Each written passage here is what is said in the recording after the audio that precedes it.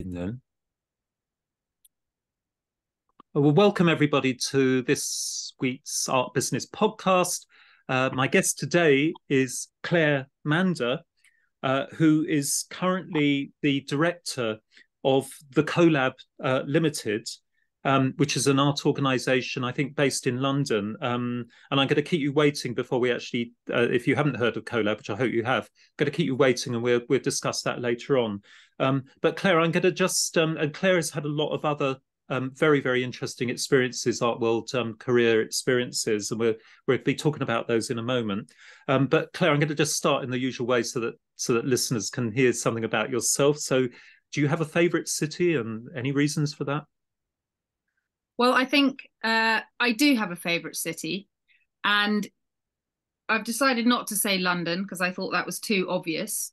So I will go for a, a city which is always very close to heart because um, I lived there when in my early twenties, and I suppose it's probably a favourite of a lot of people, um, which is Paris.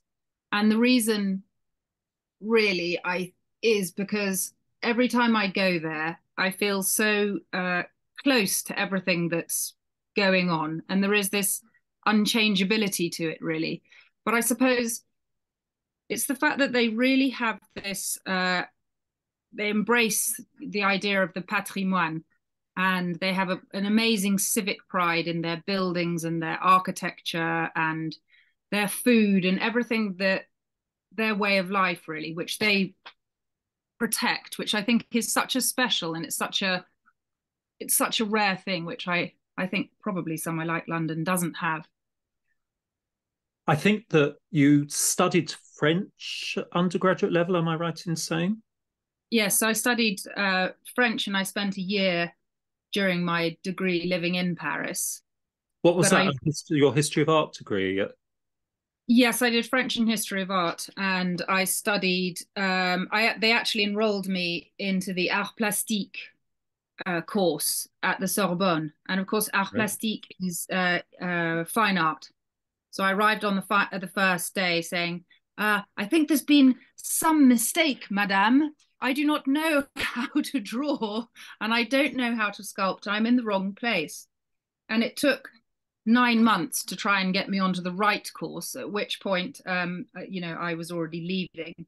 So I spent most of my time at the Institut Britannique which was a superb experience because uh, the courses in language and culture and literature are really um, unrivaled, I think. And it Sounds gave me a lot of free time to walk around Paris and so have a great walking, when you're walking around Paris, were there any particular buildings, churches, art galleries that you tend to return to each time you revisit Paris? Any kind of real favorites? Well, I spent um, a lot of the nine months in the in the archives of the Musée Rodin, which wow. has since been much modernized and I think has lost a lot of its charm. It's been over cleaned, which the French have a a, a tendency to do. Mm. They don't really adopt the British principles of restoration at all. Um, but it was a very special thing being up in in in the in Rodin's archives and reading his letters. So every time I go back to Paris, I, I can't resist. I'm drawn back there. Um, was, was that part of research for a dissertation at undergraduate or master's level? It, it, it was part of my undergraduate um, research, and. I was looking at the way that um, Rodin used uh, uh, basically the, the, process of his work that it was that he had um, a studio full of different pieces of different figures and that he would walk around this studio and he would literally just take a man and a woman and put them together and see what that made. So i was looking at uh, a work called je suis belle which is of a man carrying aloft uh, one of his crouching women in a very it's a very beautiful essay in balance and power and you know the opposition of a curled in form and a straightened out form and it's a it's a it's a fantastic work um so yes i'm just very special to be inside an artist you know up to your eyes in an artist's papers and and and and being in the museum at night when there was nobody there and being able to touch and photograph the works and look at all the archives was quite special. Yeah, Rodin's such an interesting artist. Um, I think probably a, a, lot of my students listening will probably think, oh, Rodin, the Kiss, and quite a traditional artist sculptor. But as you know, and anyone who's been to a, an exhibition of Rodin's work, what a what a sort of proto modern sculptor. Um, you mm. know, leaving the marks of the making on the on the sculptures. Um, you know, it kind of almost reminded me of uh, more recent artist Eduardo Paolozzi. I've actually got a plaster cast of one of his hmm. feet that his daughter gave me once, and it's got. It, he also continues this notion of the of the sculpt, the unfinished sculpture, or you know, with bits of metal on it that are part of the make. And Rodin's already doing that in the late nineteenth century. Yeah, I mean, he really was. He really was incredible, and just these assemblages, you know, just throwing things together that he's found lying around the studio. I mean, it's all it was all happening back then, and then you also struggle with the with the issue that he was a sort of despicable man and you know which is which is also another thing which is very which, which, which you have to sort of grapple with as an art historian. Um that it's know, a big issue at the moment isn't it? You know do you stop studying the jimmy savile effect yeah. do you stop studying an artist or composer when you discover they were probably a pedophile or whatever? It's one of the great ethical questions at the moment. Can you divorce it's, the art from the person yeah and i think but i think that i think the conclusion that i've recently come to is that really you can't separate you know the beauty of some beauty and horror two sides of the same coin really aren't they? And it, they've beauty doesn't really ever exist in isolation. You know there's always something uh, there's always something lurking in order to bring it into focus. And i guess um, that's what we as as consumers of art love about it that the best artists are ambiguous and they mm. because they mm. have that dark and light side as we all have as human beings we're yes. going to get philosophical yes. here do you have I a know. favorite already exactly do you have a favorite like country you know non-urban location it might be a seaside location an island location or maybe a countryside location well i'm sitting in my favorite countryside location which is um, where I'm currently conducting a drawing residency, which is um, Owlpen Manor, which is in the Cotswolds in, in Gloucestershire. But I, but but you just saying seaside location um, uh, makes me think of a place that I've fallen in love with really in, I suppose, 2018 or so when I did a project in Morecambe Bay, which nobody's heard of, even though it stretches to 100 miles, even though it stretches to 100 miles, just south of the Lake District. And it's, the, it's this extraordinary and very overlooked place uh, that combines an amazing array of all these different aspects of life. You walk onto the shore and you have this extraordinary, you're engulfed in this sunset. And on the one side, you have a, on your right hand, you have this sixth century burial ground. And then you, your eye goes over to the left and you have a nuclear power station. And yeah. it's just this extraordinary mix of, you know, grinding poverty and then some really quite comfortably off people some beautiful landscapes some horrific i mean monstrous uh, buildings and it, it's just it is absolutely extraordinary i think it just encapsulates you know the whole of human the whole of human endeavor really that place so i absolutely i'm completely captivated by it that whole coastline um does does where the Anthony Gormleys are, um, just trying to remember that is that beach location north of Liverpool. Is that part of Morecambe yeah. Bay, south of it? No, it's not. It's actually one bay down. Yes, that's right. I mean, I, we took the students there for the Liverpool Biennial one year. We obviously went out mm. to see mm. these amazing Gormleys, which for the listeners, you should look it up. They they're mm. basically his typical kind of bronze anthropomorphic nude uh, sculptures, life-size sculptures, but they stand in the surf, in the sea, and the the British tides for those of you who haven't been to the British coastline. It's fair, you know, it it runs it it runs far out and far in, and we get surf and so on, and it it gradually uncovers these statues at low tide, and then they're covered up gradually. It's a and they're they're a major menace to anyone trying to surf, apparently. Mm, yeah, I can imagine. And that is that's kind of south of I think the Morecambe Bay that you're you're talking about. Mm-hmm. Um, that whole area is very paradoxical, isn't it? Because I've stood on Scafell, which is the highest mountain in England, not very high, Um, mm. And you can see on a clear day, you can see down into Morecambe Bay, and you can see, I think, probably Sellafields, the nuclear power mm. is the name of the power station, mm-hmm. quite controversial. Um, so it's got these curious sort of mixtures of the most amazing wilderness. Um, mm. and, and, yet these kind of you know nuclear power station which they're trying to decommission etc and as you say a lot of mm. poverty and i think yeah. in morecambe bay you've got this fantastic tidal effect haven't you yes yes it, it rushes out it gallops out you have to be very back in again. Yeah, and, and you have to be pretty careful. Yeah, it's mm. extremely mm. treacherous. Yep. Um, but you can at certain times of the year walk across the bay, the whole of the bay. It takes about three hours to walk. Wow. All the way across it on the flat sands. So that's an exciting uh, that's an exciting thing to do. Well, that's an unusual one, and that, that that's it's very poetic. It's a, a, lot of English literature is filled with this love of the the, the sea, for you know from from probably earlier than Dickens onwards. Mm. Um, so so any kind of building that you would say you love as a piece of architecture?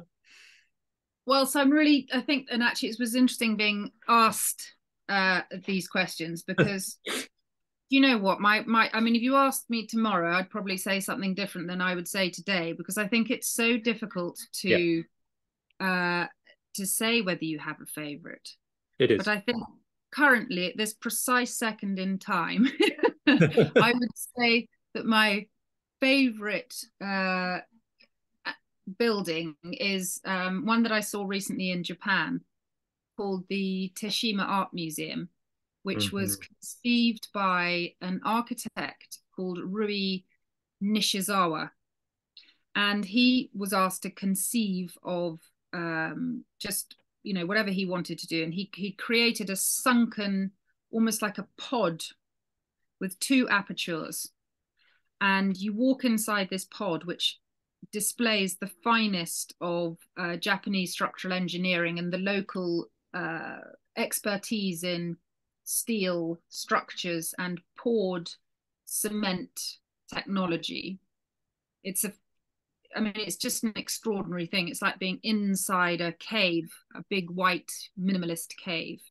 And he worked with uh, an artist who is called Rei Naito, and she is a very well known and uh, very profound Japanese artist.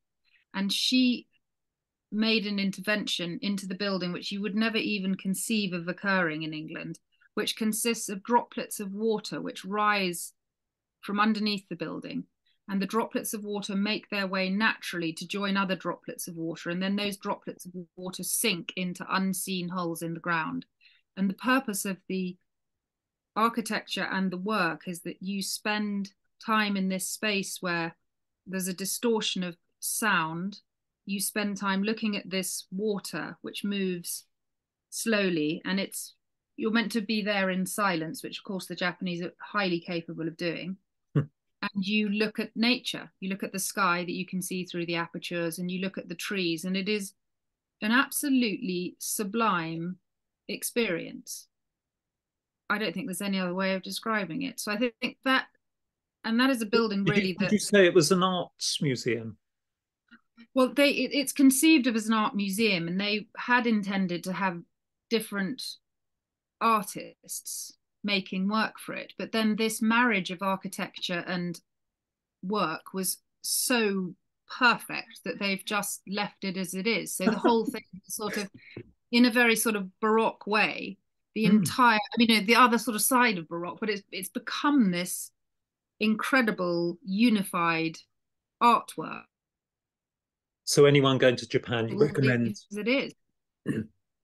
Mm. Sounds fantastic. it reminds me your experience of it and your description. I haven't seen it. I don't know it. I will look it up. Um, it reminds me of um, some of like Turrell's work. Um, mm. You know that I there's one at. Um, there's one at Houghton Hall that was commissioned by uh, the mm. owners of Houghton Hall for their gardens permanently, and it it's like a typical Turrell Square space. It's all white, and you walk up round stairs, and then you find yourself in almost like a, a Pompeian house with a like an atrium. There are benches around the sides, it's all white. And there's just a square aperture in the roof that allows you to look at the sky both by day and by night. And there's a similar one um, that I took our students to down when we go down to St. Ives. There's this beautiful place called Tremenheere Gardens, which is a sculpture Yeah. park outside of Penzance. Do you know it? And there's a Yes. there, which is like a Bronze Age burial mound, and you go through this kind of ritualized uh, corridor, and Mm. um, almost like walking into a tomb. And it's oval, if I remember right. It's got an oval aperture, and students just love it. They just sit there Mm. for ages, just quiet, contemplating it. It sounds as though this Japanese work is has a similar poetry. Mm. I've just sent you a picture of it so you can Oh, great! I'll put it. I'll see. put it. So I think so. I think the um, yeah, I, th- I think there are definitely there are definitely some similarities between Yeah. those two, and obviously James Turrell is a Sorry, um, James Turrell. I think I said Richard Turrell. James. is you know is an incredible, uh, really is an incredible artist. Um, Absolutely. And you, you spoke about, Claire, you spoke about the sounds being important with the water um, in, in this Japanese um, museum, in the inverted commas gallery. Um, so, so what about, do you listen to music? Are there any, again, it's this difficult question, like it, at the very present time, is there music you're listening to, or if you had to choose your desert island disc, one thing that you could take to your island, what would it be? It would probably be a mixtape because all right. Frankly, frankly, I'm very uh, open-minded Hmm. in terms of the music that I listen to. But I, in order to narrow it down, I would say probably anything that's good to dance to. So whether it's gypsy jazz or you know trance music or Ravi Shankar playing on his tabla, or you know, I go a lot to to the opera. I think there is such a an amazing wealth of different types of music across the across the ages. Uh, but essentially, yeah, I, I would be very happy if it's a song to dance to because that's So- very good all round. So, are you the kind of person that dances on their own, that puts music on and just likes to dance on their own, or do you like to do this as a on a social level? I don't. Well, I, we dance. Uh, yeah, I mean, I just any opportunity basically. I've got two left feet, so I'm really envious of people with. uh, no, I, I just, watch them and I think, why? What have they got that I haven't? Why won't my body move to this music? And yet, I love listening to music. You know, it's really weird. My body Yeah, just no, doesn't it- respond. It's just very no, very sort of informally, you know, around the kitchen table and that kind of thing. It's great. no honestly i always think also i miss dancing i miss weddings where there's you know there's Mm. seem to be less and less of these occasions when you can just go and and the whole family are there and everyone doesn't mind making a fool of themselves um you know it's, It's difficult great, to do that yeah. It's yeah, I- it's really great. i agree with that so so finally can you do you have any early memories of suddenly realizing that something was art or you know because i think i think art is such a strange thing that you know we find it hard to define even when we studied it all our lives i would say. So i just always wonder to myself when did i first see something and someone told me it was art and i thought what's that? And why is it art? Do you have any early memories of art? Well, I think we, I suppose, a really early memory would be um, it was, I, I don't know who the artist was, but it was a bronze sculpture. We used to go and visit a lot of um, houses. My father was quite interested, you know, in, in an amateur way, was quite interested in architecture. So we Mhm. used to go and visit houses and so forth. And I do always remember this um, uh, reclining figure, quite abstract, probably uh, modern British or Mm. something like that, of, of a figure. And I remember being quite entranced about that. Um, but then it just sort of it it really developed, and then and, and really after that, I just I suppose I just sort of fell into it. Um, I mean, I've never really been able to, always wanted to be able to draw, um, but have never really been very good at it. And Same that's not just being modest. yeah no it's the same here people often say how the how can't you you spend your life with around with art why can't you do it you know i don't I know, know.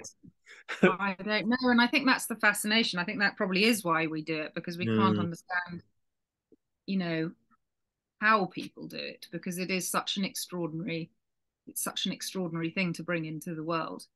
But so, re- so, so after that, I really fell into it because I um, had, I was quite a good linguist, but I didn't really have any other special skill, shall we say. So I um, didn't really know what to do for A level, and it was suggested that I, you know, when people didn't know what to do for A level, they were just told to do history of art because yes. it was because for some reason people think it's an easy A level, which I just mm. can't understand because I actually I think it's one of the most difficult A levels there is, mm-hmm. because you're trying to learn a whole new visual language, uh, express things, and a whole new canon of work yeah. that relates to so many other things, which relates to all the history of every period and all the literature, and it's global and it's I mean it's just yeah. it's phenomenal in scale.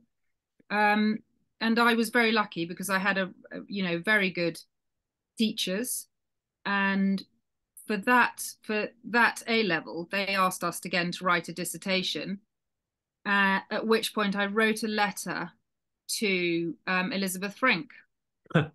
I said, "Dear Mrs. Frink, I really love your work and I've got to do an A level dissertation. Can I come and see you? And she said, That would be delightful. Come to my studio. Wow. And um and I think that was really when I decided that sculpture is the thing. it is the most important thing. And um and I found I had a real interest in living artists. And I think those are the kind of two big decisions, aren't they? Whether you're going to whether you're more interested in living artists or whether you're more interested in dead artists. What was have, it? About, I haven't I haven't ever spoken on this podcast about Elizabeth Frink. We've probably spoken mm. about Barbara Hepworth in the context of St Ives. Um, mm. w- would you like to tell the listeners, because I suspect most of the listeners probably don't know Elizabeth Frink.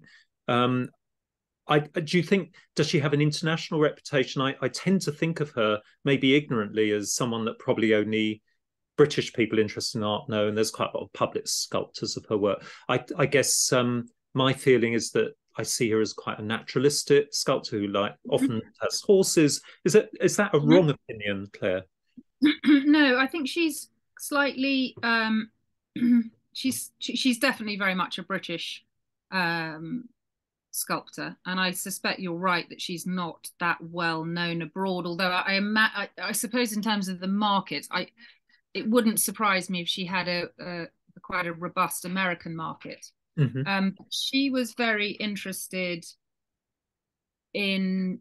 Uh, she she was making a lot of work uh, after the war, and she was actually a very successful in her own lifetime, and she made uh, a lot of work which was about the interrelationship between the human and the animal, particular. Mm-hmm particularly the the horse and rider. And there's a very beautiful example of her work, which has now been thankfully resited um, on Old Bond Street uh, from Piccadilly in the middle of the Caffè Nero. I remember that. It used to be right beside the tables in, drinking coffee. Could you believe it? And you try, had to sort of ask people to move so you could see. Yes, they used to put their cups on the that was amusing. That was quite strange. Oh, they've done a great thing moving it. Um, but but I don't know. I think she sort of gets a bit of bad press because she did a lot of work about animals, mm. but which is not a subject which people think is terribly serious. Mm. Uh, but actually, I think she's a fantastic, and also she's figurative, which is now not fashionable. Um, although she, I suppose, wasn't. I mean, she was figurative, but she wasn't necessarily working from life, or a lot of it was from the imagination. So she did when they found the Riace bronzes, for example, she did these over life-size monumental figures of these very strange uh, beings that had been drawn up from the bottom of the ocean. Uh, and actually, when you went into her studio, she had these huge goggled heads, which were these nightmarish um, heads with that were bronze, and they were probably about uh, a meter and a half high at least, with these bronze polished goggles on them, which were very reminiscent of uh, awful, you know, dictatory soldier types imposing their will rather forcefully, and they were very, you know, very frightening and dotted around her her garden and thing. But I, I think, I mean, I think she she's getting a lot more critical attention now. Um, but I, yeah, I think, and, and also because she was a woman sculptor, of course, that you know, there's less um, there's less attention given to her. But yeah, I think she's worth she's worth looking at. She's a very good way into sculpture, put it that way. I mean, there may be with the recent sort of revisionism of women artists that you know maybe that she becomes part of that eventually.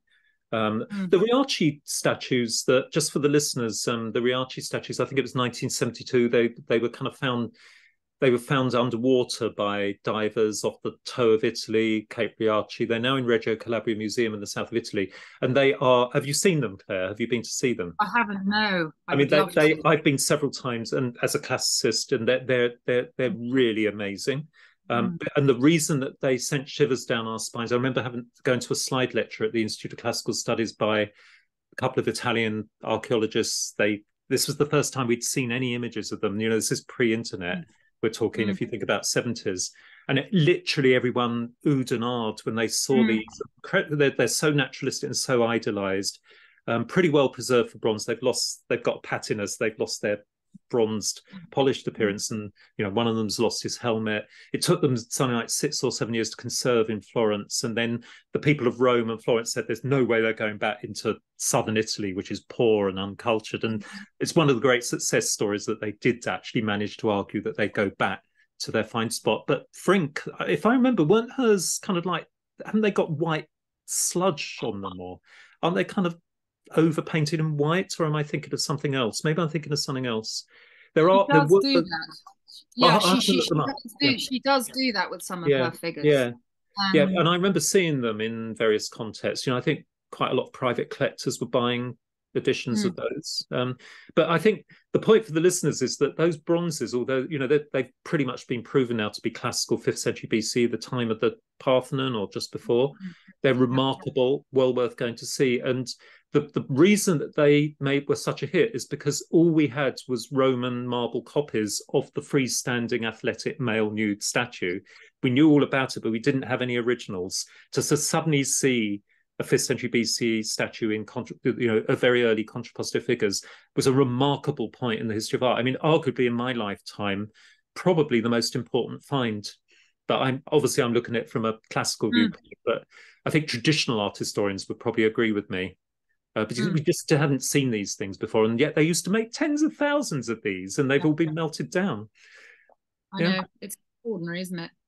And then coming on to your graduate education, Claire, um, art history and, and, and significantly law appears. So you were at Edinburgh, London, and Courtauld. Was I think you were the, studying law in London, and obviously I think at Edinburgh and Courtauld you studied art history. Do you want to say a little bit about that, and maybe maybe any of your special special interest subjects or dissertations? So I did um, French and um, history of art at Edinburgh under a fantastic um, tutor called Elizabeth Cowling, who is a specialist in Matisse and Picasso and has mm-hmm. written some of the most um, important essays and texts and yeah. was really looking at work up until I 1880 to 1950 really which is a mm-hmm. really fascinating period in the history of art. But this was also there was also a focus on um, Flemish Baroque and Islamic art under um, a really extraordinary tutor called Hillenbrand. Uh, so, so, so, the vast, um, you know, it, it, was just a vast array, really. Incredible. And it's very interesting, very unusual, actually, arguably, or used to be, you know, to be looking at having someone lecturing on Islamic art as oh. opposed to traditional Western. But it was so, I think it was such an important thing for all of us because yeah. to be able to look at not just the way that people made things, but this extraordinary narrative that the artists had to get control of and had to describe in a means that was often very small uh, was was uh, you know it, it kind of uh, it really opened our eyes actually to the fact that there's an awful lot going on and there's an awful lot informing uh, work that people make in, the, in in every in every contemporary world that there is. Um, so th- that was a very valuable and very rigorous experience. She was a very um, tough tutor. We had m- more sort of more work to do than anyone else, which seems to have characterized characterized my uh, my interface with with tutors, which is you're, you're sort of it's painful at the time, but you're grateful for it later. Um, it's quite interesting, um, actually. My current students and they laugh at this, and my alumni, they kind of complain about the workload, or a lot of them do, and they have like one assignment, maybe one extended essay for a unit. Um, oh uh, to be fair, they have a lot of different things to do because it's an art business course. They have to do a business plan. You know, it is quite wide ranging. Um, yes. But I, I remember when I was studying Latin at university, we used to have to do an essay a week. And we used yes. to have to do like a translation into Latin from English every week. And we'd have tutorials yes. to make sure. And if you didn't turn up to the tutorial, you know, obviously there was no corporal punishment, but they made you feel it if you ever didn't turn up for things. It's quite mental corporal punishment. Bring it back. Yes. Um, gosh, this I know, but it's yeah, it's, it was quite a lot of pressure. But she used to make us do a presentation every week. Yep. With those nightmarish double slides, so you had to go to the find the images, put up slides next to each other, tell people what you'd been looking into, because it, which is a very valuable skill. Because yeah. a lot of working in the art world is about being articulate and presenting sure. ideas and you have to be able to put it together quickly and you have to make people understand what you're what you're talking about basically mm-hmm. and that mm-hmm. theme very much continued when i went to the courtauld by um, professor sarah wilson who's very well known for her amazing care of her students and support of her students but also that she was very rigorous and she used to pretend to be asleep and then you would say, and I'm talking about Derain's painting done in 1960, September 1916 or something. it wasn't 1916 and it was done in whatever town. Silly girl. And then you, and then you. Yeah, and of course, of course, we can't. I can't speak ever to my students in any kind of disrespect. Oh. Where you know, but we oh. used to, we used to be spoken to like that, and whether it did us good or not, I don't know. Um, oh, it was terrifying. It was terrifying, terrifying but good. Um, I've heard I've heard similar anecdotes at Sotheby's Institute. That, that there was this notorious course, course called the Works of Art course that predated the institute and its, you know, uh, validated degrees. Um, that Sotheby's people working at Sotheby's were made to do. Mm. that, that, was the start of the institute, and you hear these stories. I'm not going to mention the names of the tutors. But anyone anyone of the right age who knows I, there, there, are a couple of people I know who had these teachers, but they were they were also just like that, really vicious with people throwing books at them if they got it wrong. And oh my gosh, yeah. no, we didn't go to that level. We didn't go to that level. It was just a rap on the knuckles, you know. It was rap like on, a, yeah, the kind of mental rap on the knuckles. Um, don't yeah. you know? Don't say it if you're not sure. Just don't Things say it. Yeah. Um, but it was a brilliant, very so, brilliant where did the law come in? Was it between so the law? Yeah, the law came in uh, after Edinburgh when I was.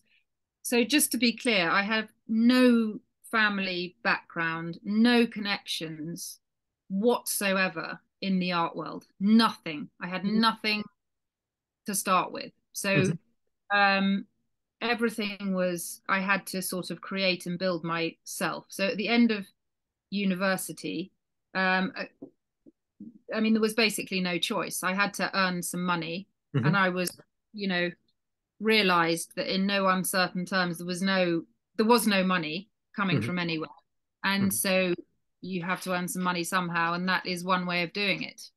Yeah, yeah. So that's what Absolutely. I did. But it was, and it was. um I mean, it wasn't a very pleasant experience, I have to say. It was rather, uh, a, a, definitely an unpleasant experience Mm. But there are very many skills that came out of it that have been very, very useful. Probably most importantly, um, not being baffled by people's language, particularly in bureaucratic settings.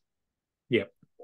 And, and being able yeah, and, and being able to analyze um, structures and being able to be organized actually.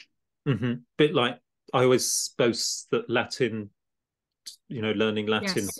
helps on with that s- structure. and so on. And uh, obviously that feeds into law. At Courtauld, um, you've spoken about Sarah Wilson and as, as, as an inspiring, uh, if intimidating sometimes, tutor. Um, uh, what did you? Yeah. What was your dissertation on? What did you choose to focus on in the end? I did you do? Well, I, did. I was actually, I was, um, I actually did it on, um, weirdly, and I'm not quite sure why I did it on this actually thinking about it, but I did it on um, inflatable architecture. Is that random? and utopian, the utopian use of the inflatable. So people like Archigram and then various contemporary uh, or relatively contemporary French artists, for example, Pablo Reynoso, mm-hmm. um, and just the way that the inflatable in the 60s was a very, um, you know, the whole idea of being able to be they made everything out of plastic they made whole environments and ant farm had a great inflatable thing that people ran across um, and into and you could create these environments that would move with their own legs across the world and everything was going to be okay it was very um, it's so great though i still it love um, very unusual and i'm thinking of jeremy deller's inflatable stonehenge more recently. Which is brilliant, isn't it? I mean, there's something about inflatables that just makes people really, um, really happy. But um, like a bouncy yeah, was... castle, but a work of art. Yeah, exactly, and that's a fun. great piece of work. That's a great yeah. piece of work. Yeah, um, that's amazing. And then, then I think your early work was at you went to Paris, as I believe it, to Drouot, the, the, the infamous or the historical Parisian auction house, which I encourage any listeners. They, if you go to Paris, it's not an obvious place. I think there is Drouot on the metro, and it's well worth going out to and experiencing an hour of the auctions in the famous historical Drouot auction house. Do you want to talk about that experience? So that was after university, and um, I wanted to uh, do as the the the, uh, the general plan was that I would do as mu- get as much work experience in the art world in any way possible, um, in order to gradually work out which bit of it was suitable and interesting. Mm-hmm. Having having sort of basically rejected academia as an option, mm-hmm. and um, so I went to um, start to work for um, a very colourful commissaire priseur. And the commissaire priseur in that at that time i think there were 50 across the whole of france and it was the definition of a monopoly because they were the only people who were allowed to buy and sell artworks in france which is absolutely unbelievable. So when somebody died it was a commissaire priseur who did it and they got all the uh, commission for it and they are huge experts. I mean they're highly highly highly trained and they have to do a degree in um, history of art and a full degree in law. And then they're allowed to start, and then they set up their etude. So I was working with um, the most infamous, if it's possible to be, of, of all the commissaire priseurs. And he was called um, Maître Binoche. And Maître Binoche um, uh, was an absolute scandal because he put uh, an impressionist painting in a shopping mall in Japan because it was the time at which the Japanese were very interested in buying Japanese work. And the French art world went completely bananas and they said, You can't defile a work like this. You know, you're making it into a commercial commodity and this is absolutely outrageous. And he just said, I don't care. I've just made the most money in the world from the sale of a painting. He was a fantastic man with a really interesting collection, uh, very flamboyant. Um, I mean, really, just an extraordinary, extraordinary man, and he continues to be an extraordinary man. Um, and yeah, that was quite an experience. We had to, I had to do sort of buying and you know selling, and it was like being a simultaneous translator, which was really, really, really difficult on the phones in the auction room. You know, pre-internet. Wow, so, and you, but it's so great. It was, you, it learned, was really... you learned a lot about all sorts of different types of art, the physical object, which must have been a, you know, a lot of people don't have that opportunity. Yeah, and and I made some really great friends who uh, are now commissaire priseurs uh, themselves, and um, I'd love to be one. oh, I know. Wouldn't it be amazing? they all have these extraordinary collections because they can, they just, and, it, it, and it's very sort of, um, they have these amazing houses and then they mm. collect, you know, they have, the French are so brilliant at mixing contemporary and yeah old things and they have a particular interest in African masks or Japanese sure. armor or something, and they just mix the whole thing up with this incredible aesthetic sense. Yeah. I think Picasso when he was in Paris, I guess. It's exciting. It hasn't changed. The whole yeah. aesthetic has not changed, and they are yeah. just they're brilliant at it.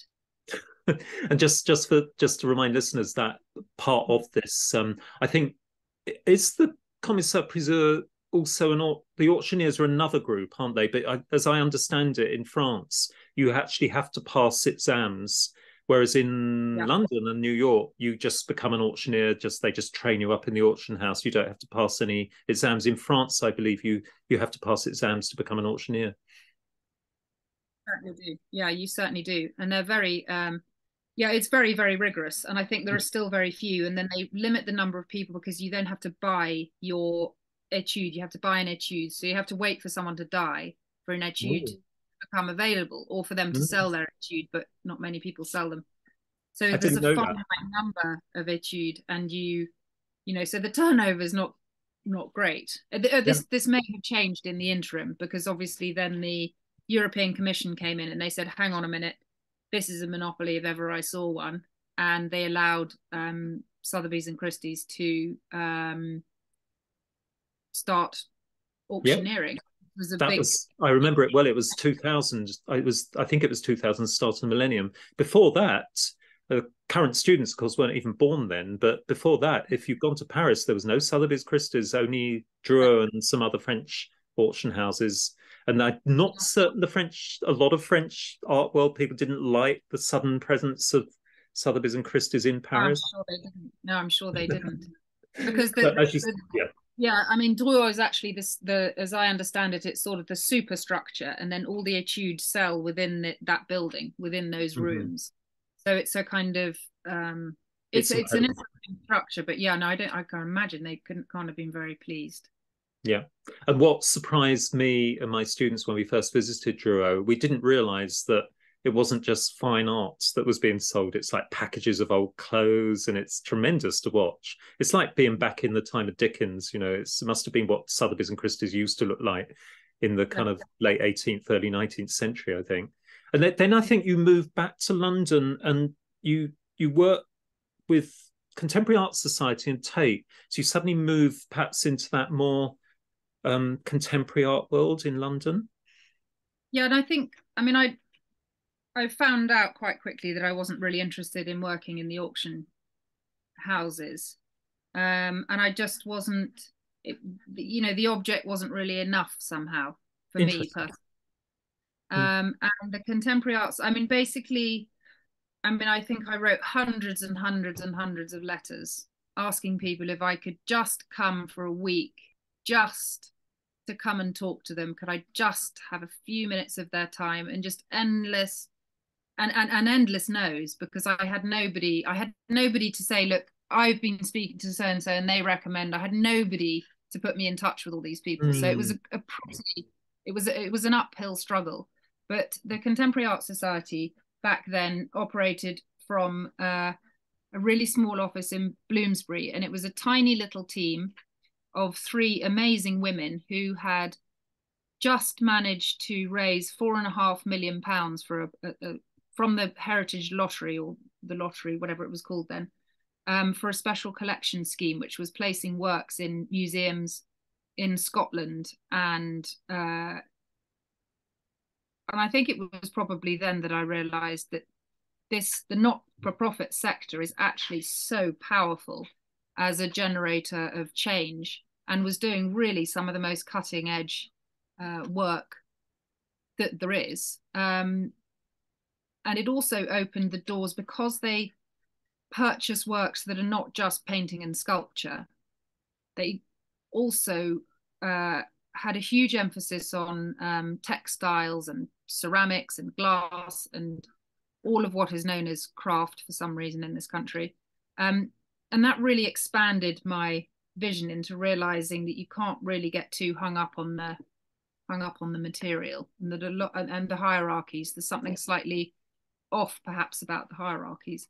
But that was a really valuable experience um, and again met or came across a, a, very important woman who was has you know re- who I remain in touch with and um, has been a constant uh, support through many many years. Um, and in fact I was just thinking that one of the other women I worked with in that organization. And I was just a you know I was just an intern. I wasn't really um, a very important part of it. They were probably more important to me.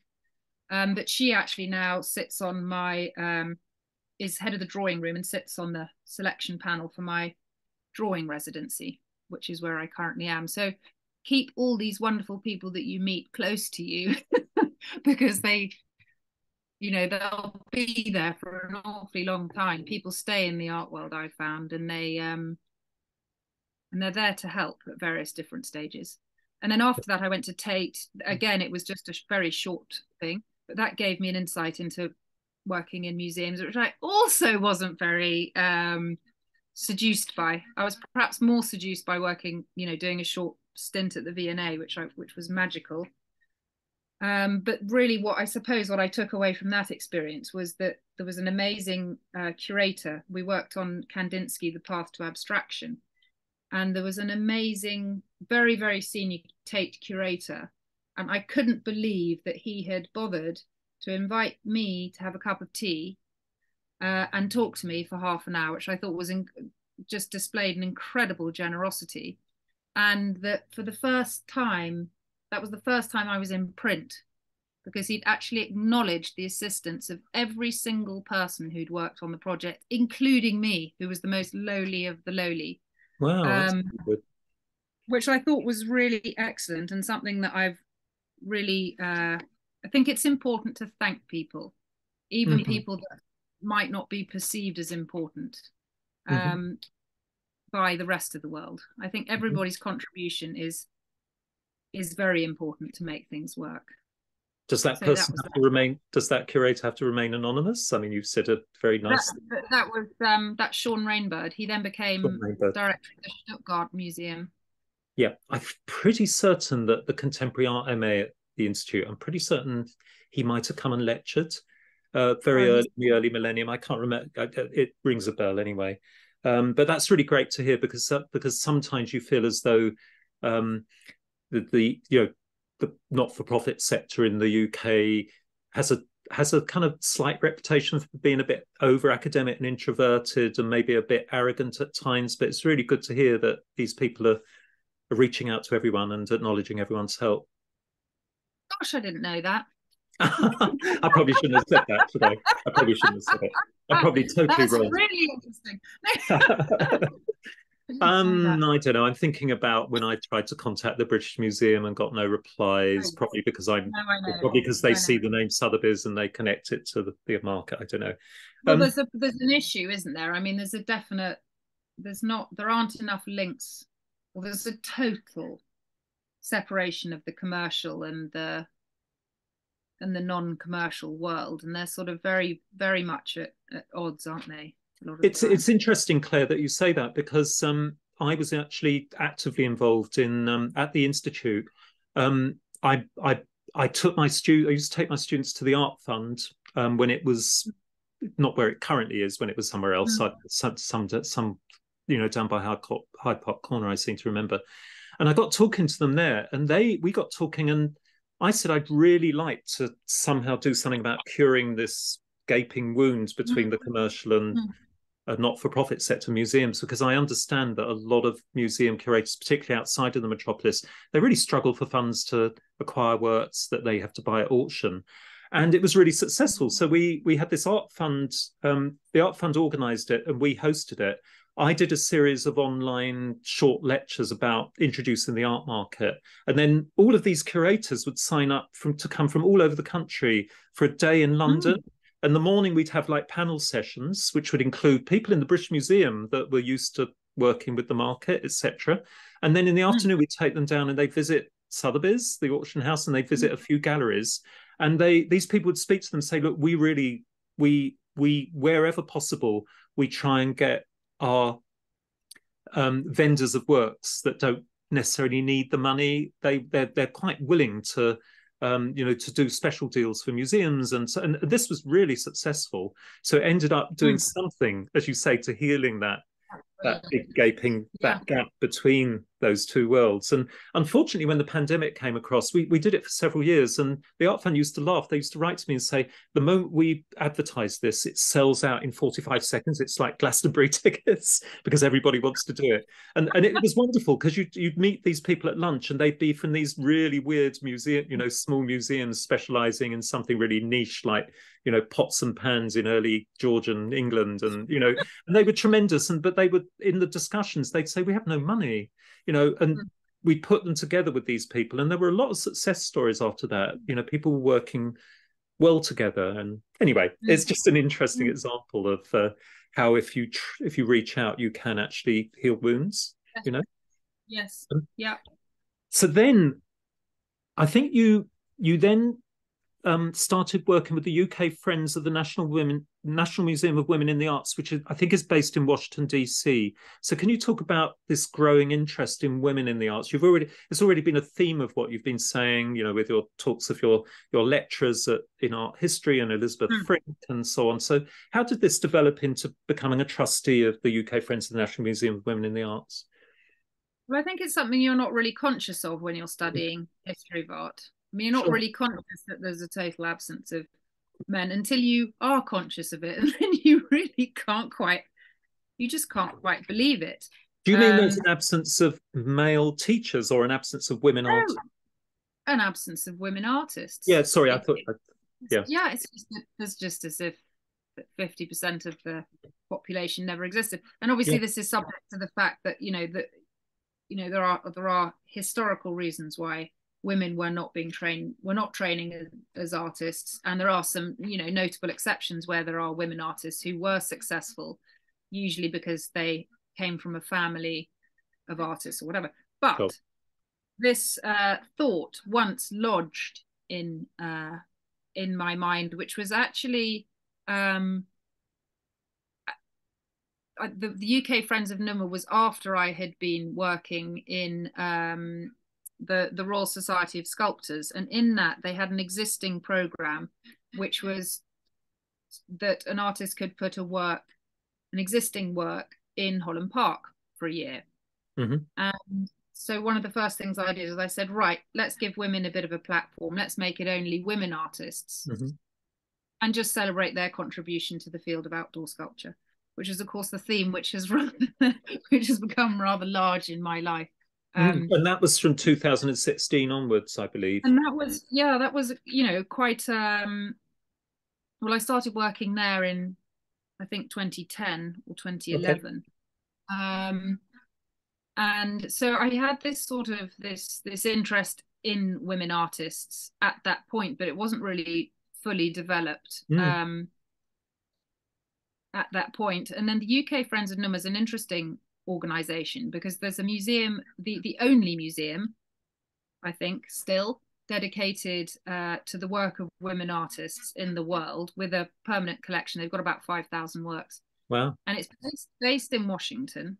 Mm-hmm. And then they have this network of uh, 21 committees worldwide, mm. which are basically self managing, established as charities. And they'd have this great program, which is called Women to Watch, which um, happens once every two to three years on a theme set by the museum. So I was roped into it because um, I knew about sculpture and the theme was metal. And so they, uh, in typical sort of American, I don't know if you've ever worked with Americans, but it's an extraordinary it's an extraordinarily direct way of working mm-hmm. and literally the feeling was being you know taken by the scruff of the neck come on you're good for this project let's do it it's going to be great so we did do it and actually those were collaborations with auction houses one um and we did a, a, a show at the phillips really snazzy gallery space in um, Berkeley Square. Mm-hmm. Um, artists like uh, Rana Begum, who was actually selected uh, and with whom I travelled to Washington to the museum with for the the Big Women to Watch show, which the mm. museum selects one artist from each of the committees that puts on a show, and then they put on this big exhibition at the museum. So it's a quite a major undertaking, mm-hmm. um, but a very interesting one. And it, it was, you know, it was fun to it was fun to see how um, Americans work, and it was a yeah, it was it was a lot of work, but it was good. Can you remember the founding the foundation date of um, of that museum? Can you approximately know when when it was opened first opened? Uh, I uh, not very long ago. I think it was yeah. opened in the sixties or something like that.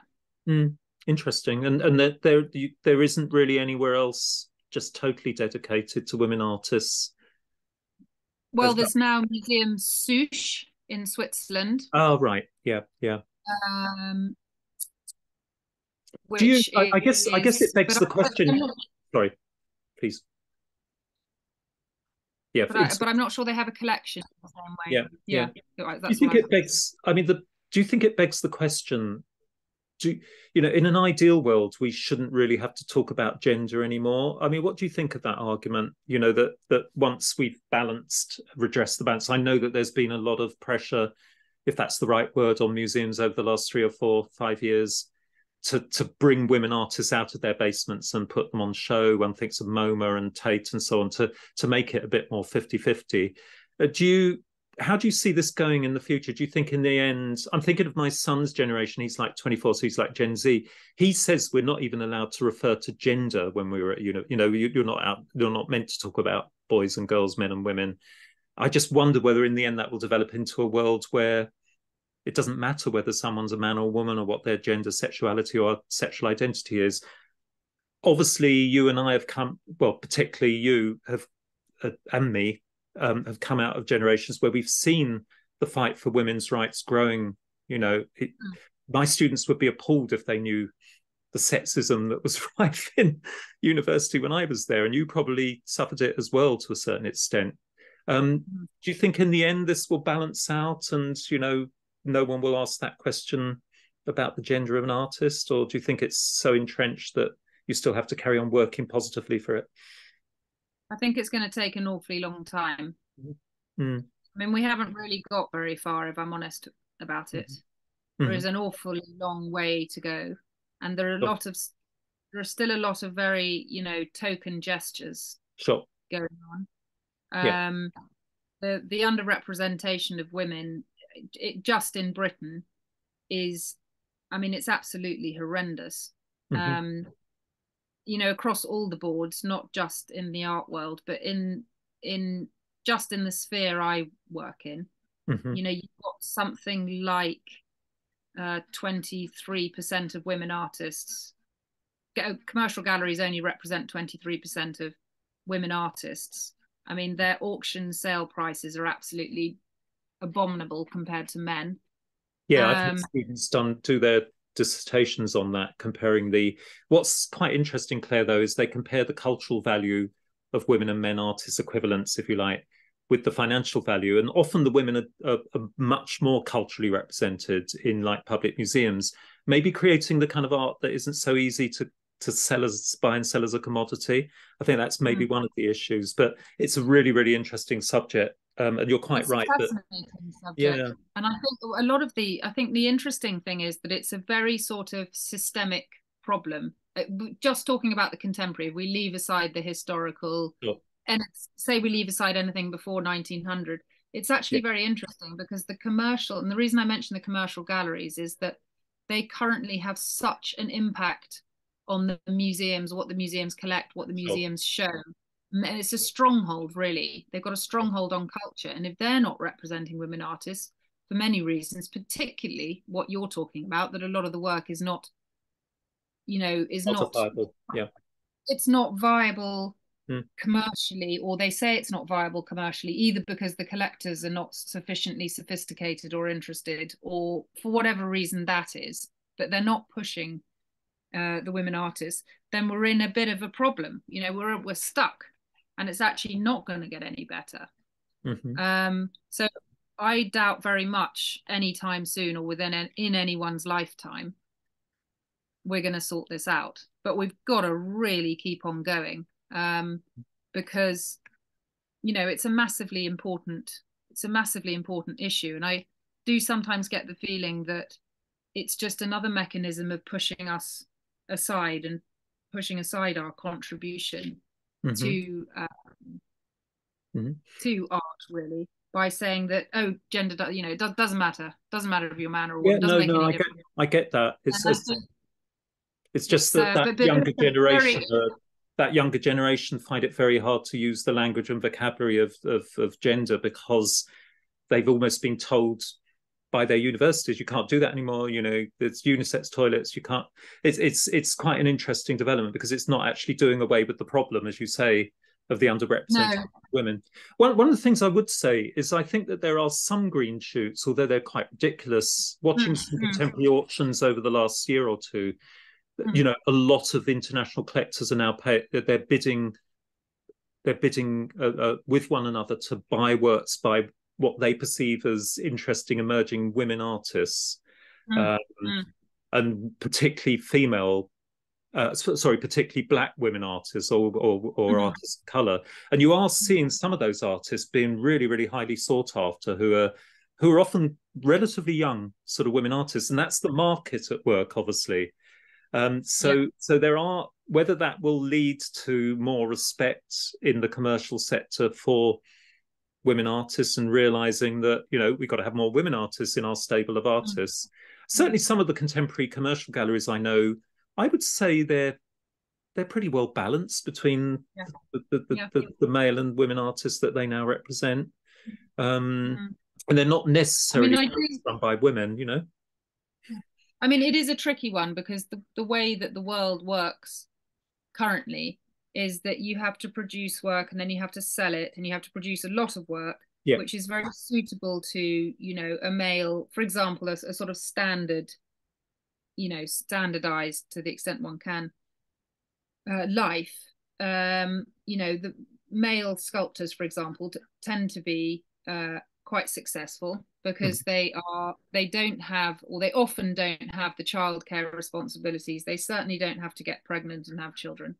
Sure. Um, and and so there are you know a, a, a woman's typical uh, working cycle if they have children or even if they don't they often get uh, end up looking after older parents or there, there are caring responsibilities that will be foisted on them at, at some point in most likely um, it makes their working patterns a lot less linear Yeah. and a lot less predictable and therefore in the current structure a lot less profitable so Yeah. there's something there which actually has to change it's not so much just signing up a load of women artists and asking them to do the same thing that men have been doing and produce at the same level or extent uh, as the men have been doing it requires a bit of you know a bit of an overhaul really Yeah. um and I, it, I'm really interested to see how it will happen. But it's but it's a sustained, um, it's a sustained mission, and I, I think it will happen. I mean, I'm a real optimist, and I think that it it will get there, but not uh, because of any other reason really than that. I think the work that women make uh, is very good, and it Mhm. stands on its own. It stands on its own two feet, really. No, it would be Absolutely. pointless exercise, you know, if if it weren't as good, if not better. Yeah. Um, I remember in the 80s, I, I think Birkbeck College asked me to do a a short series on on on gender in art, which is quite strange to ask a guy to do it, I guess. Um, but Mm. um, I, I one of the lectures I or one of the series of lectures I I, I took Henry Moore and Barbara Hepworth. Honestly, Mm. in the 1980s, the first thing I did is I looked at their bibliography, um, the Mm. bibliography of academic work on them. Yeah. Hepworth had hardly anything. Moore had massive amounts now and and and then if you looked at the art market you know Moore was selling for a huge amount more pardon the pun than, than Hepworth it's actually inverted now arguably so if you actually look Mm. at recent if you put a graph in and you look at the amount of academic literature since the turn of the millennium on Hepworth far exceeds literature Mm. on Moore and and Mm. also her prices are exceeding Henry Moore so Mm. it's something has happened since the 80s Yeah. in in those two very well-known modern British artists in the way we we we respect and approach them, which is interesting. Mm. And of course, nice mm. is is an interesting figure because she did have famously had triplets, but that took her out of London from the Blitz, as I understand it, down St Ives, and then Ben Nicholson, who was the father, I think he just walked off and left. Oh. Yeah, so she's kind of left with the kids, but she's an example yeah. of someone who, against the odds, sort of you know managed to continue to create lots of amazing art, and it brings us on to your the Procreate project. Do you want to talk to the listeners about that? Because I think you're um, co-curator on the selection panel of this Procreate Project Mother Art Prize. Do you want to talk about what that's for? Yeah, so um, Procreate, Procreate Project was um, set up by two amazing women called uh, Diana Gravina and Paola Lucente. Yes. Um, and they their mission essentially is to uh, make more visible the work of artists mothers and indeed their plight and how difficult it is to make uh, work, which mm-hmm. actually Hepworth put very well uh, in relation to having all those children and she said a woman artist's work is characterized by interruption. Yeah. Constant. Isn't that true in general of women in the who are having to work in society? That that we don't do enough for women in any kind of work, you know, with the maternity leave, and then women maybe yeah. come back to work, or they're discouraged from looking after their children. They might they might prefer to choose to look after their children. That makes life very difficult for them economically. Um, isn't it also true of society, broader society? Yeah, uh, yeah. yeah.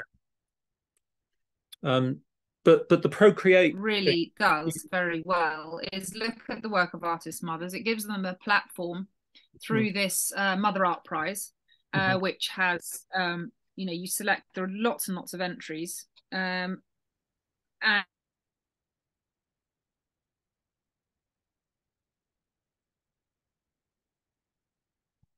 Uh, Claire, can you hear me?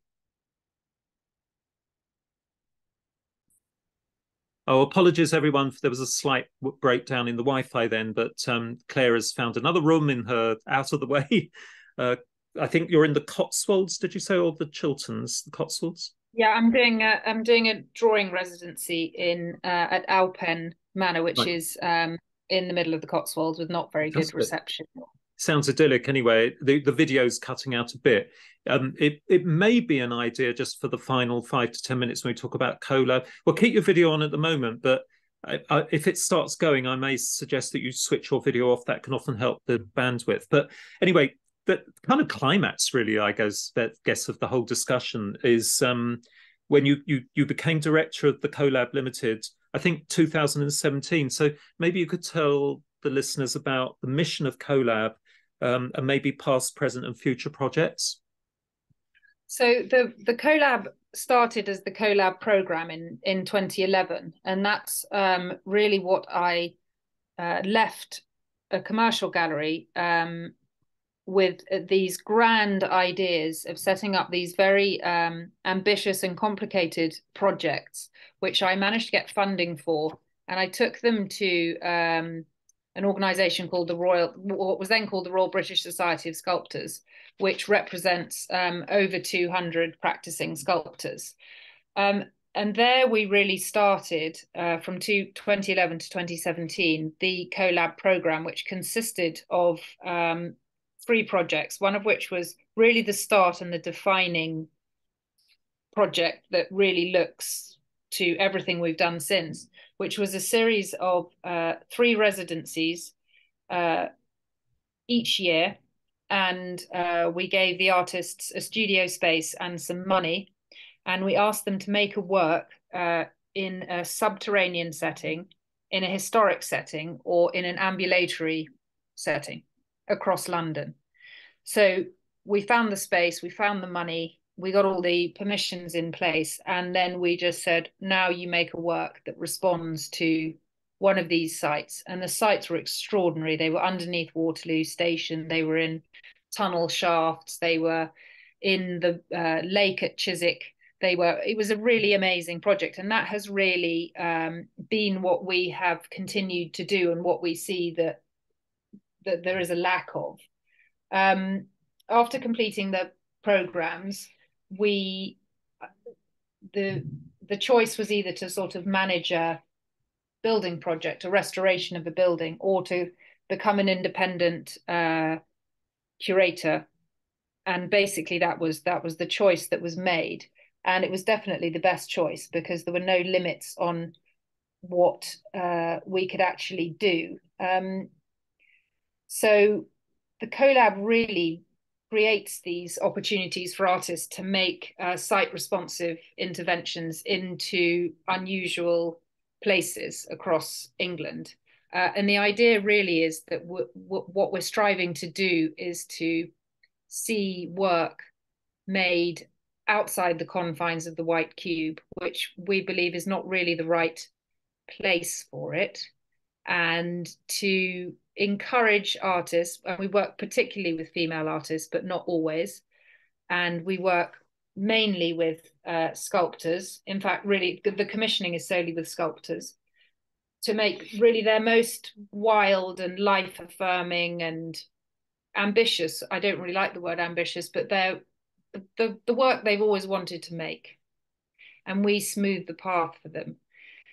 And the, the reason that this is really important in relation um, to women artists is that a lot of the work that is seen in um, outdoor spaces, because we work mainly outdoors, is tends to be by the same, you know, four or five male artists, and it is certainly um, could be said to be of a type. Uh, it's you know often a metal, you know, bronze or steel structure. It's often um, you know by a similar sort of group of, of, of, artists. And so we really want to open the doors both for the benefit of the viewer and for the benefit of the artists, uh, you know, to, to, to seeing more and different and better work. Um, so the current, our, our current sort of headline project at the moment is called the Artist Garden, which is a half acre space on the roof of Temple Tube Station which was totally derelict and neglected and only had a couple of homeless people and me on it really to start with which we spent four years uh, negotiating with the landowners to to use. And we were thankfully successful um, managed to raise the money and launched the whole project in 2021 um, it's been very successful and we the structure is basically that a female artist is asked to make a large scale work and then two other artists are invited to come and do a residency in a little hut that we've built on the site. And it's a public space but it's also quite a private space in that it's raised up from the uh, ground and you have to reach it by 10 steps and you just have this wonderful sky as a canopy and it's right next to the thames and you're totally secluded while still being right in the middle of London. So it's a very, very unusual and absolutely vast space that most people come to and they say, I can't believe I never knew this was there. and then they come and it, you know, it very much is there. And the parameters of it are that it is a garden, which is obviously a human um, construct, a human imposition on on the landscape, in this case on the urban landscape. And the first artist, who was Lakwena, interpreted this as um, a cue to make her vision of paradise a reality, which she has done brilliantly. We're currently showing through the Cosmic Allotment, which is actually a husband and wife collaboration um, by Hayward and Condy. And our next uh, large scale commission is an artist um, who you might know called Holly Hendry, who's making a vast drawing in space which will uh, be quite something, and that will be uh, opening on the 6th of July. We, we also run a collaboration with Royal College of Art in Yorkshire Sculpture Park, from which we um, select their graduate award winner who will make their first piece of outdoor work. Um, the idea really is just to take away all these barriers to creating outdoor work. Um, we have you know a really brilliant team of uh, project managers and structural engineers um, we have a very close relationship with westminster who um, su- both support the project and are very close partners and have been since the beginning it's really a you know a, a close collaboration with them. Um, and it's really just to demonstrate what women can do if they're given the chance, if all of these time barriers are removed. And the results have been quite extraordinary. Um, and you should come really that everyone should come and see it because it's just such a you know it's it's such a great space um, and in terms of uh, future projects the one that's uh, going to happen in start happening in 2024 and 2025 is the Morecambe Bay Triennial, which is where we have this lovely 100 miles of coastline and we will be making um, really building a whole arts ecology in partnership with all the artists and arts organizations around the bay. Um, and it will see some great site responsive work being made uh, about both you know the people and the place and the landscape. And it's going to be uh, a very exciting thing and we intend to base it on uh, residencies so people will have to really their work will have to be embedded in the place rather than parachuting in um, work that people might find interesting however tempting that may be. Um, so those are the two sort of big things that are going on. And I'm actually speaking from um, this place where we where we run every year uh, a residency program called Body in Place, and this is really again linked to the um, process of drawing and how this um, unlocks artists who you know be they sculptors or painters or whatever they whatever form their practice takes. We think it's a very important um, part of the creative process that is not practiced as much or in a way that it should be. Um, and so we are just using this as a platform to explore different ways of teaching and learning about drawing and you know making the case for reintegrating it into people's practice. So we have 10 artists professional artists a year who come here for five days and they are taught and they learn and they teach the teachers and um, and they become friends and they and it has a huge impact on their on their work going forward. Uh, and it's really an important part of what we do. And actually probably my favorite week in the year i have to say. Especially when it's like today when the sun is shining and um, and people uh, people work outside as well as inside. Absolutely. The idea is really we're looking at the life room and whether the life room you know hasn't really substantially changed since the 19th century. Um, and whether if we take the body out of the context of the life room we are bringing something different to the idea of drawing and also the body really has to be central to all drawing because we you know you you create and you draw with your your body. It's it's it's the unity of your eye, your hand, and your mind, and it's a it's a very essential thing to do. So really, it's looking at getting people to look at the body and draw and rethink the way that they convey ideas of space and and time really um, through their work. So and you said, you said earlier in the podcast, Claire, that you weren't very good at drawing. Do you take part in this? Are you learning? I have. I have. Um, I have done one of the courses, um, and I got lost at one point. But it is actually extraordinary how you um, how it really changes your perception of the world. Yeah. Even if it's not really about what the product on the page, it's really about how you see the world. So I think really everybody should draw, especially art yeah. historians I, I agree. When, when, we ever go, when we do our study trips abroad to Venice and Torino, I always say to students, just all of you, whether you think you can draw or not, take a little sketchbook, and when you're sitting having coffee, just spend five yeah. minutes because you'll just see everything in a very different yeah. way. Yeah. No, you're absolutely right in that, and I think there's a there's a general sort of trend. I think it is becoming slightly more popular to do to do drawing, but I mm. think if you want to understand the composition of a painting or the reason that people have put things in a certain way, then the only way you can really understand it is if you draw. And I mean, you know, some of these paintings took many, many, many months to construct the composition. Yeah. And they, everything is very intentional. So if you want to unpack that intention, you have to kind of you know unveil the true uh, what's underneath really. It's a great um, point. Claire thank you very very much for being the guest today and i think the listeners are going to find this really absorbing it and and, and unusual if i may so in a, in a very good way. Because you're i think for the first time i i have had guests who are artists but it's quite it, just where you're coming from is just such a different thing because you're curatorial but you're involved in the language of the artists and it's just such a great insight into um, that that that that hope for the future of women artists as well in particular that you're supporting so well in all of your kind of trusteeships and selection panels and so on. So you know wish i'm sure that all all the listeners with myself will wish you you know good luck in the future and with your projects. And I will uh, put some links on when I publish this, and particularly people should go to to look at Temple Underground Station, which, funny enough, I saw.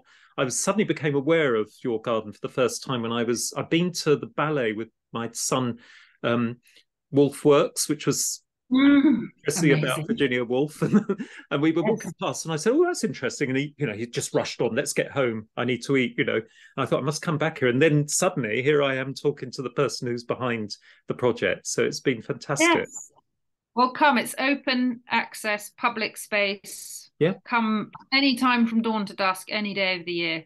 Brilliant. Uh, Sounds fantastic. You can come and talk to an artist. Come and see the work. It's a really special, special place. I, I think that's the just to to sum up, I think one of the important things that you're doing all the time is uh, the importance of residency.